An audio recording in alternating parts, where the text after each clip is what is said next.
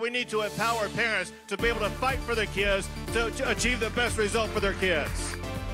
After Texas Governor Greg Abbott rallied for school choice, the Senate committee will take up the issue today. A bill known as SB 8 would create taxpayer funded education accounts, which would allow families to access up to $8,000 for tutoring or private school.